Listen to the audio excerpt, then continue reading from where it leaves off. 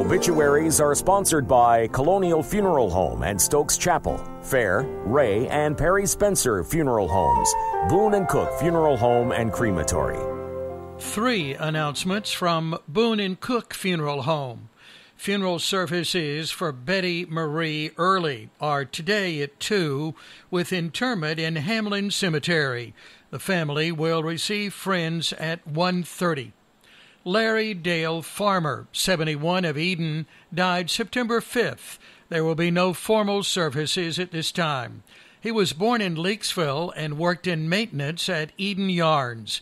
Surviving are wife Chinaho Rogers Farmer of the home, children Larry Dale Farmer II of Eden and Tina Laree Farmer of Charlotte, two grandchildren and two great grandchildren. Viola May Watkins, 52 of Eden, died September 3rd. Private services with family and friends will be held later. She was born in Stewart and worked for Fieldcrest Mills in the packaging department. Surviving son Juan Watkins of Eden and boyfriend Junior Anderson. Funeral services for Elizabeth Ann Bradshaw are today at 1 at Perry Spencer Funeral Home in Madison. The family will receive friends one hour prior to services. Interment in Ridgeview Cemetery, Eden. Two announcements from Colonial Funeral Home. Memorial services for Mildred Purtle Dunlap are Sunday at 4 in Madison. The family will greet friends following the services. Sharon Annette Thomas Woods, 69, died September 4th.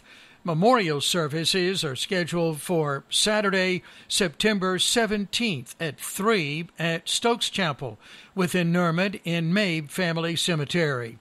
She was born in St. Augustine, Florida, and employed with Citibank. She was preceded in death by husband Rodney Clark Woods. Surviving are son Rodney Clark Woods Jr., daughter Sarah Michelle Norman and Marcus, parents Jimmy D. Thomas and Annette Bennett Thomas, brothers John Thomas, Paul David Thomas, and Virgil Thomas. Seven announcements from Fair Funeral Home. Thomas Allen Martin, 73 of Eden, died September 6th. Kenneth Bubba Dwayne Pulliam, 48 of Eden, died September 6th. Arrangements are incomplete. Funeral services for Sylvia Ann Dehart Wilson are today at 11 at North Spray Christian Church, where she was a member. Entombment at Roselawn Memorial Gardens Mausoleum. Funeral services for Sarah Craven Carter are today at 1 at First Church of the Brethren in Eden with burial in Ridgeview Memorial Gardens. George Andy Watkins, 95 of Eden, died September 5th. Graveside services are Friday at 10 at Overlook Cemetery. He will lie in repose tomorrow from 12 until 5.